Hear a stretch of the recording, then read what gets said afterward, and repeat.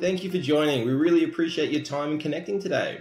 Hold on tight because over the next half an hour, we're going to show you just how Dr. Migrate, Microsoft, and Intel have joined forces to help organizations around the world accelerate their move to Azure.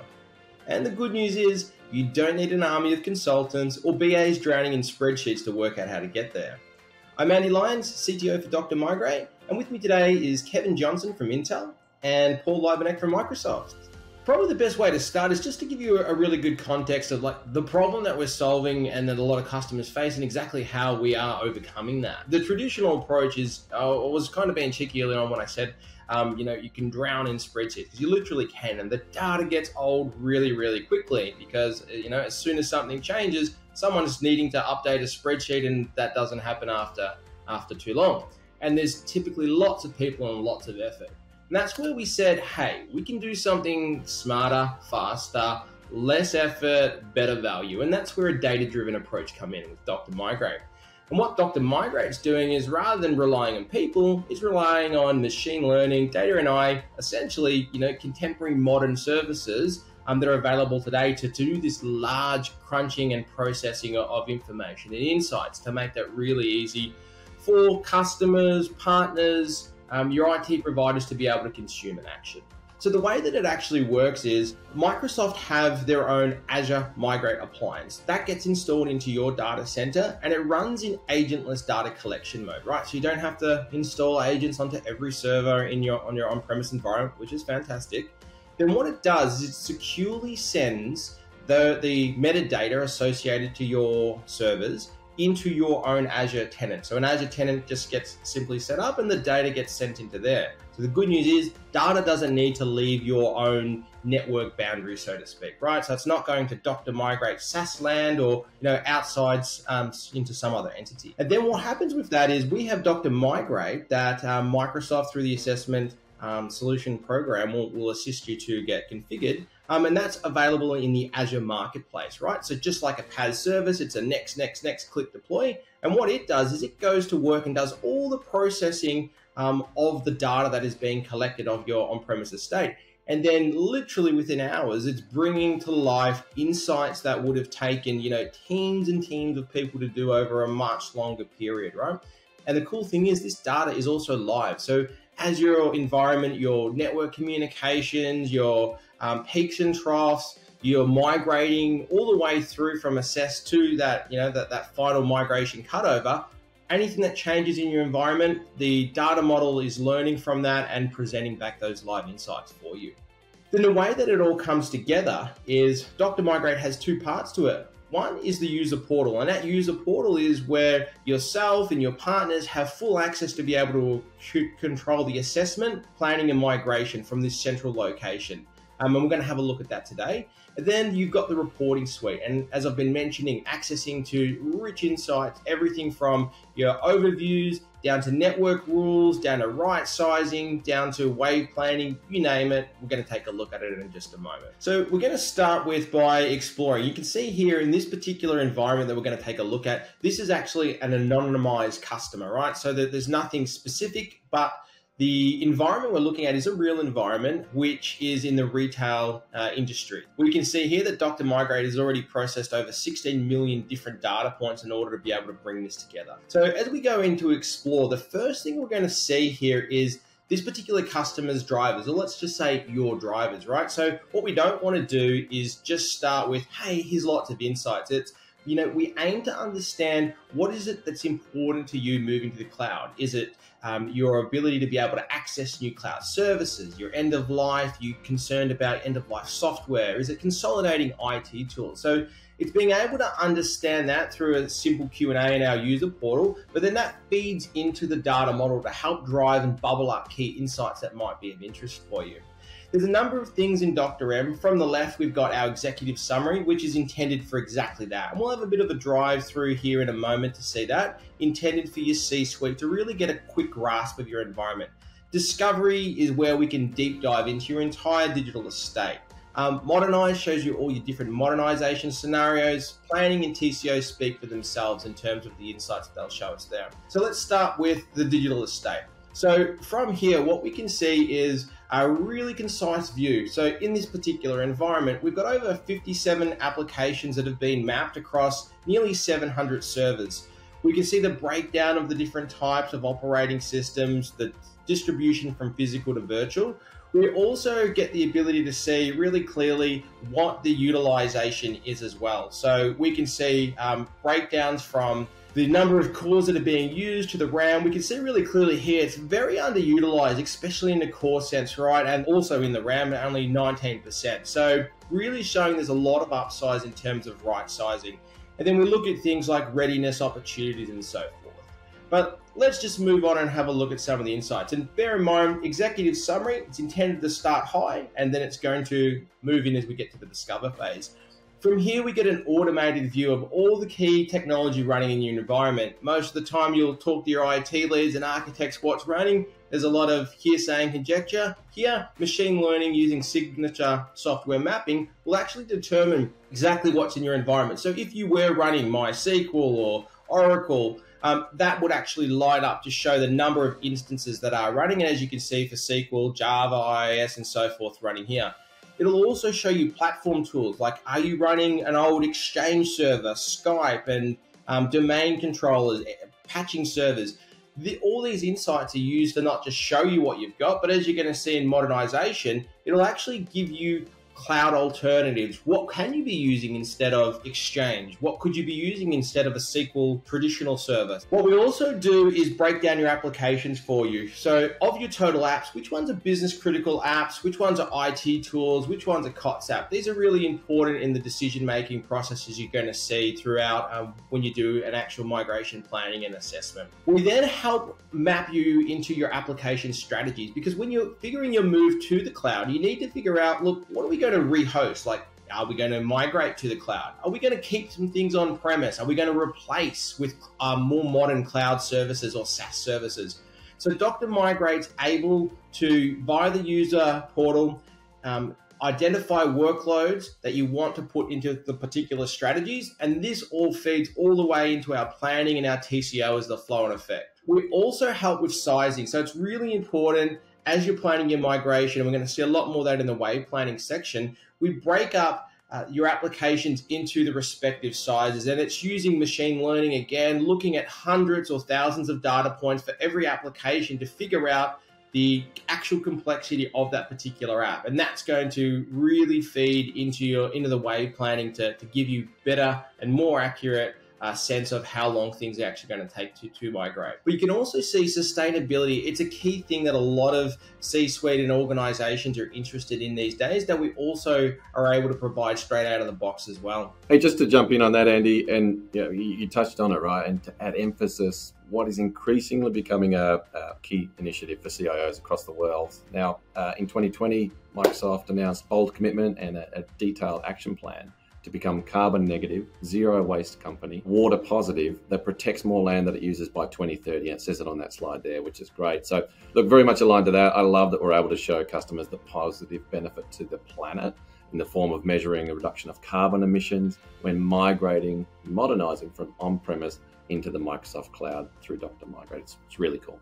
Thanks, Andy. Let's actually do a deep dive now. So if I go to the discovery section, what you can see here is your full end-to-end suite. So this is kind of like your flight center. What you can do here is select your application and that could be any application in your environment, right? So if I just select any application, what it'll do is first of all, bring up a whole heap of uh, telemetry about it the number of in servers broke down by environment, its complexity, the modernization potential, optimization, blockers, and more, right? But then what you can do is every one of these different tabs allows you to deep dive into the components of that particular application, right? So we've chosen the Aspen app here. And by the way, we could also isolate that and just look at the servers that are related to the development environment, prod environment, or test environment, all environments equally as well, all with the click dynamically done.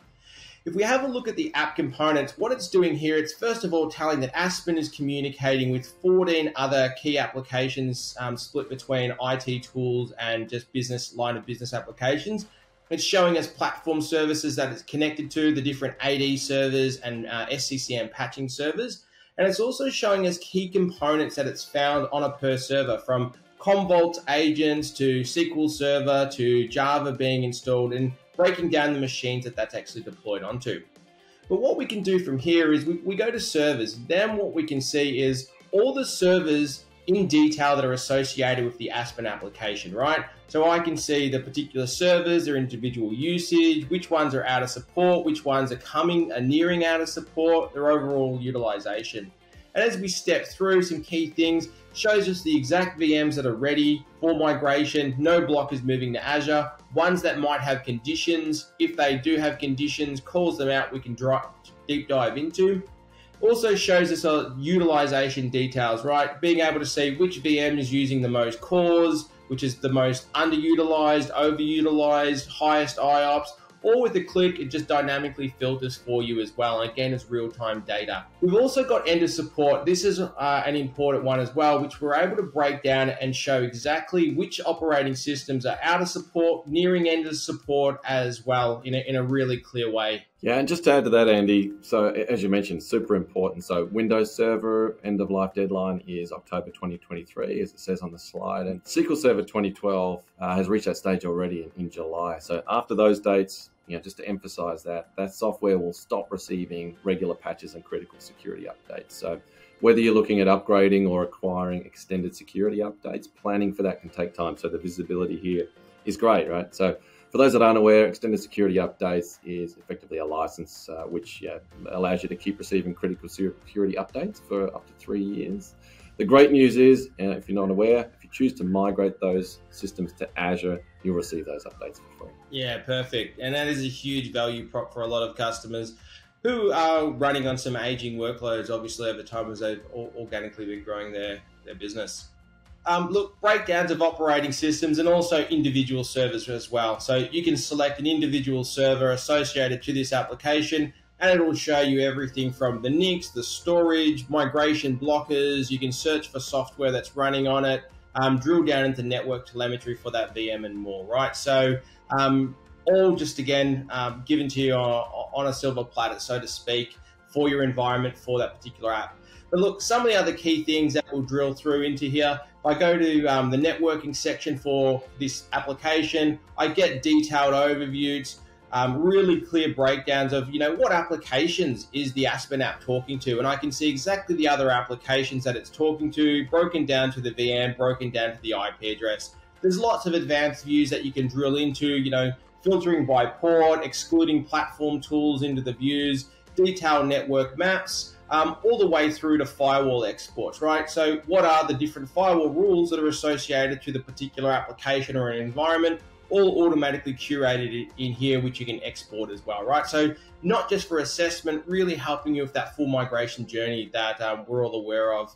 Um, really needs access to these smarts. Beyond that, if your application's running databases, it'll show all the databases that are running um, on there, what it's found, if it's in support, out of support, as we mentioned. Um, and it's not just doing SQL, it's doing Postgres, Oracle. It'll detect any type of databases and lay that out. It's just relevant to the particular application I've got filtered at the moment. It'll also show you modernization, like which SQL databases can be modernized to a PaaS service, right? So you can move from a SQL um, you know, standalone running on, on a server 2012, you could move that and many other versions to SQL Managed Instance, a PaaS version. So it'll show you ones that are high touch, low touch, allow you to deep dive into the individual databases if need be, um, and also show you consolidation scenarios. Like you could go from 31 servers for the Aspen application down to zero, running on pure PaaS, and showing you what those saving benefits are in different scenarios as well. Now, our modernization insights gives us a programmatic look of exactly what opportunities we have for the particular application. So we can see here that Aspen is running instances of Java and SQL Server, all of which have got modernization opportunities that you can run in Azure, like equivalent PaaS services. So if you didn't know, you can actually run a Java uh, app on an Azure App Service plan. You could even run it in a container or an Azure function. And as I was mentioning before with SQL Server, running it on SQL databases and managed instances. The other cool thing is too, you can right click, drill through, and it'll show you the exact servers that are running it. It'll also show you key benefits and architecture links in, and guides to going from Java to App Service Plan. And you can do that for any technology that Dr. M detects to be able to find out more about that as well. And it'll also show you IT tools like platform tools. It's detected, you know, Azure Backup, or sorry, better said, Commvault and Zabbix from different tooling and showing you what the modernization options there because a lot of your legacy IT tools Microsoft have done an awesome job to completely, you know, hands-free management, doing that via the equivalent of, of PaaS alternatives as well for you. So Dr. M's also bubbling up those insights. On the topic of insights, we have a dedicated advisor section. So for your particular application, what Dr. Migrate's doing here is bubbling up a whole heap of advisories from, you know, things that we found out about your application that your migration engineers might want to know about from servers with a very high number of network connections that are going to really impact the way you do your firewall management and your, your, your cloud network configuration to showing different types of traffic, high disk space, high IOPS, so it's essentially looking at every machine and looking for certain profiles and patterns to being able to call out. And you can simply click on the particular um, call out or insight and it will show you the server. And again, if you wanted, you could drill through into that particular server to find out more.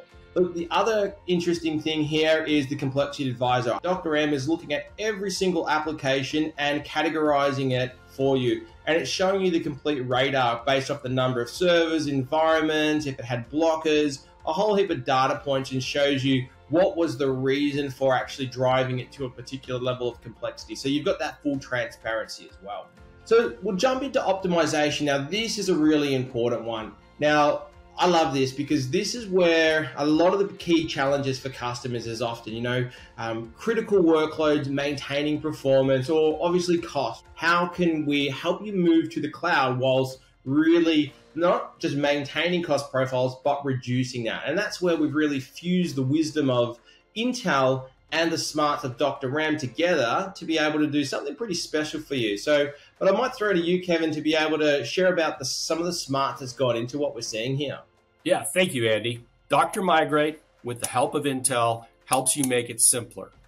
It's very complex today. We've seen the complexity as we walk through the tool this is the complexity that you work with and live with every day. Once you balance out cost, performance, latency, regulatory compliance, security as your variables and metrics of how you consider a move, we are here to help take the complexity out of that. Picking the right server, the right CPU, the right memory, the right network configuration, the right applications to move and how to move them Dr. Migrate and Intel are here to help you. Optimization at the server level is critical. You, you need to know, you need to trust the performance of the server, the CPU memory, configuration of network, uh, the storage, in order to make sure that you're getting the right cost, using the infrastructure correctly, making sure the right security metrics are being met for your application, your application move.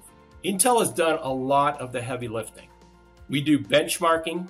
We take the benchmarking and do optimization from optimizations, configuration, configuration, more innovation, really to bring you the virtual machine that works best for your workload. Working very closely with Microsoft Azure to select the VM or the instance and the configuration around it.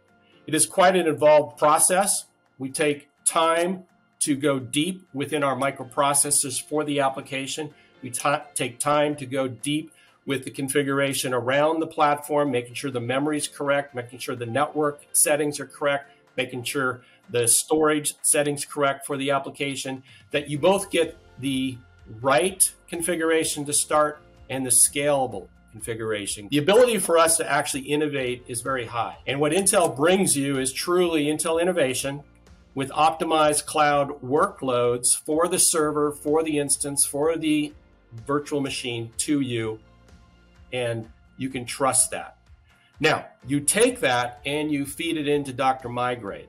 And what you've seen is a trusted infrastructure tool showing migration options landing on the best server configuration possible.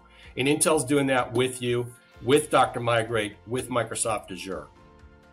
Now, current cloud migration tools, they are complex as well Many of them do not use the benchmark capability of going into the platform, going into the server in any great detail.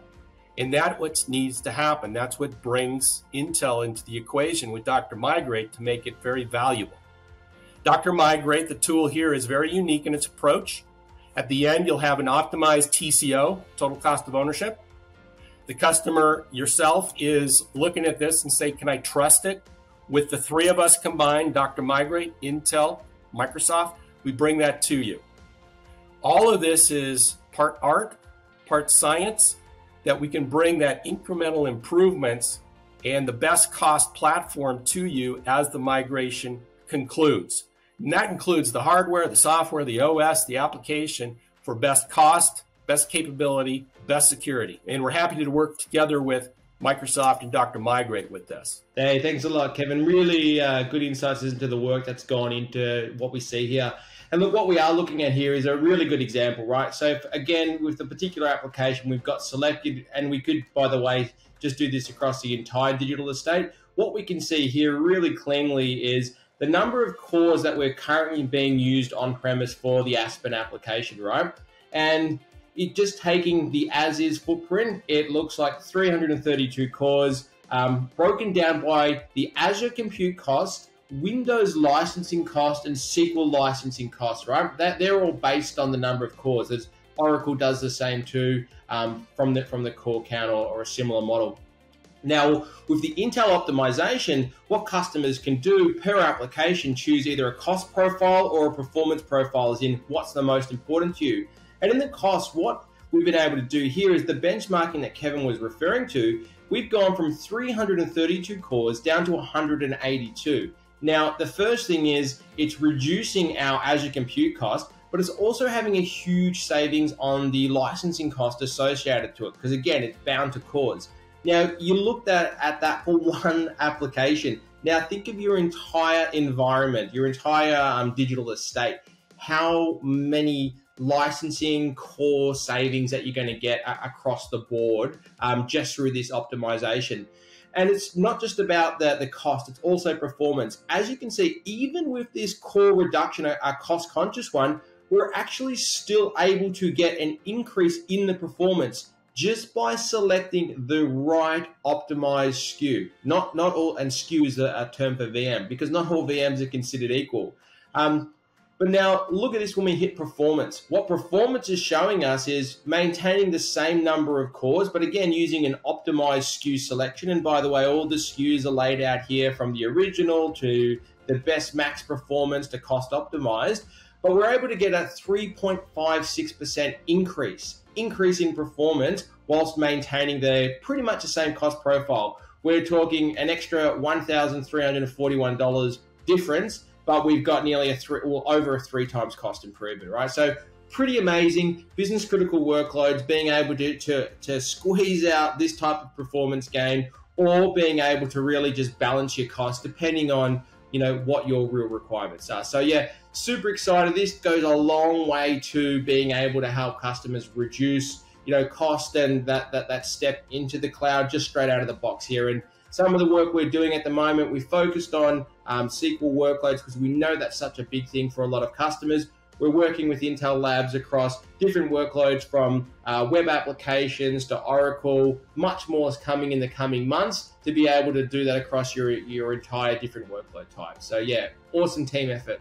So let's take a quick look at the user portal. And the user portal is how you interact with the data. So we are essentially calling it applying the customer lens. So what drives the reporting that you've just seen here is the data collection and any input that you want to put into it. And from our user portal, you've got everything from our discovery sections to planning all the way through to migration, right? All at your fingertips. And what you can do here is anything from adding new applications, clicking on existing applications, putting in application owners, tagging things with metadata, um, selecting environment, adding servers that might have been missed where you want to associate, all there in one stop shop rather than putting it into Excel spreadsheets. Your changes are automatically fed into that live data model. But the main thing that I wanted to show you within, and there's lots to show you inside the user portal, but is also the wave planning. Like, this is critical. You saw the network telemetry that Dr. M's able to collect, right? What Dr. M's machine learning is doing, it's looking at the millions of different network connections or possible millions, and then it's um, using algorithms to actually group applications by what we call network affinity, which applications have got a really strong network affinity together. It's Dr. M's using a number of other uh, characteristics, but it's essentially using those characteristics to group applications into um, waves together. So then what you can do is actually start to focus on migrating applications that have got a strong network affinity affinity together straight out of the box so you don't have to figure that out. You know how I was talking early on around the complexity of applications? Because Dr. Migrate's able to figure out which applications are small, medium to large, you can see here um, because it's figured that out, it's able to then use that to extrapolate the time to actually migrate individual applications based off their size. And if you or your partner want to actually change it and say, you know what, for us to migrate a low complexity app, that's actually only going to take us eight hours or 20 hours, whatever it, whatever it might be, and the entire plan will re-baseline. And you've got the ability to be able to change the order of waves and move things around and get in there and say, you know what, we don't want to move this particular application in this wave and simply click on it, remove it out, and add others in there equally as well. Um, so yeah, what I wanted to show you in the, the user interface side is being able to really interact with the data instead of spreadsheets. Um, and it's not just about assessment. We also help you with the migration um, because Dr. M has got all the data you've just put into the wave planning. It knows, you know, per application or per wave, better said, which apps have you assigned to a wave. You can actually assign playbooks to them and use our tracker to be able to track the progress of migrations with individual workflows as well from start to finish. So, as an example, I'm tracking this particular application, Helios. I can see it's 75% complete, and you can add your own phases, your own steps in there from start to finish that you can assign to um, individual people that will go ahead and complete those particular activities. And probably the last thing, just to tie it all back in together for you, is you know we take all that those insights, we take all that wave planning, um, all the application strategies, and then play that back to you. Like, what is it going to cost at the end of the day? And you've got the full transparency and confidence in that data, that live data, um, to be able to see the different cost profiles. You can also work with the specialists from Microsoft to be able to even help further tailor that for you um, and see the different comparison scenarios as well um, through the different reserved instances, through hybrid benefits that you can apply to really demystify um, that cost profile for you. So, look, really, really excited to be able to get this into the hands of so many people around the world and um, and truly help reduce the complexity of what is otherwise an extremely daunting task by using the, the power of machine learning and really combining some of the, the, the, biggest names and smartest people out there in the world to, to fuse all that wisdom together. Well, that sure was a whirlwind. So you might be wondering where to from here. Well, look, you can learn more about Dr. Migrate and the technology side, or you might actually be a Microsoft partner and interested in figuring out what are the channel opportunities associated with using Dr. Migrate directly yourself. Look, for any of those types of questions, you can reach out to us at info at drmigrate.com um, and we'll be happy to, yeah, field anything you might have. Hey Andy, that might have been a whirlwind, but uh, I got to say, and pardon the pun, but every time I see that walkthrough, I'm just blown away by um, the amazing tools that you guys have created. And um, I just want to you know, pause here before I get on to the rest, just to say a huge thank you. Two ways to take this forward: talk to your account team if you, if you know who they are here at Microsoft. Have a chat with them. Um, register your interest yeah, directly through that channel or you can hit that URL that's on the screen, go through the uh, register your interest through the web form, and just be sure to enter Dr. Migrate in the partner form when submitting, and that'll come through and, uh, and we'll be in touch. But um, yeah, thanks for your time today, and over to you, Andy. Hey, thanks a lot, Paul, for kind words as well. And we did love our partnership and being actually able to make a big difference to to our customers. But yeah, look, thanks a lot, Paul. Thanks a lot, Kevin, for joining, and everyone else for connecting in. And uh, hope to see you migrating soon. Thank you.